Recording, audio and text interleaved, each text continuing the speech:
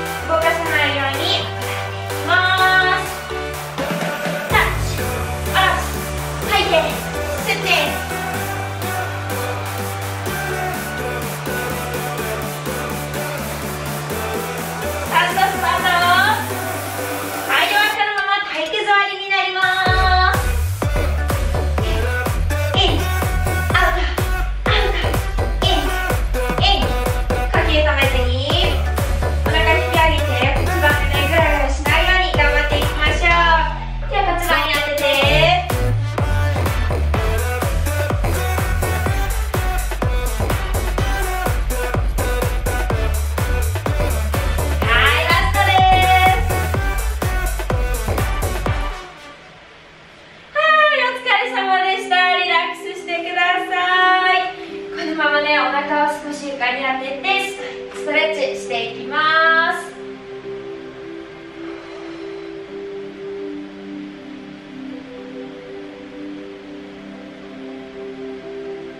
はい、皆さんお疲れ様でした。あっという間の3分間の腹筋に焦点を当てたヒルダンスを一緒に行いました。時間がないけどね、少しトレーニングをしておきたいなっていう時や、普段やっているね、腹筋やコアのトレーニングのプラスアルファにこの今日やったルーティンを入れていくと、より体幹強化にもつながっていくと思います。表面の筋肉はね、簡単に鍛えれることはできるんですけれども、やっぱり内側っていうのは意識をしていないとなかなかね、鍛えていくことができない箇所でもあるので、常にトレーニングするときは呼吸を止めないでやることと、お腹を引き上げてやることを意識して行ってみるといいと思います。ぜひいいねボタンとチャンネル登録の方もよろしくお願いします。そして私のオンラインフィットネスコミュニティの方でもメンバーの B クルと一緒にコミュニティを通してお互い励まし合いながら一緒にトレーニングをしたりいろんな活動を行っていますのでぜひそちらも興味がある方は概要欄からご覧ください。それではまた